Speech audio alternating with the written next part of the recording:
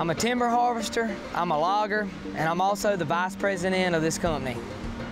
I personally am a third generation logger. I'm the lead man on the day-to-day operations within the company and the logging operations that we have. And I also help plan the destinations that we harvest timber.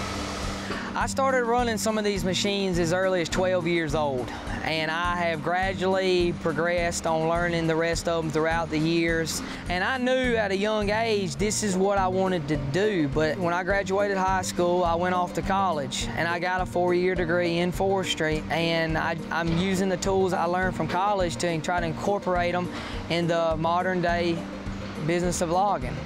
Logging is hard work, but it's very rewarding. You get to work alongside with people every day.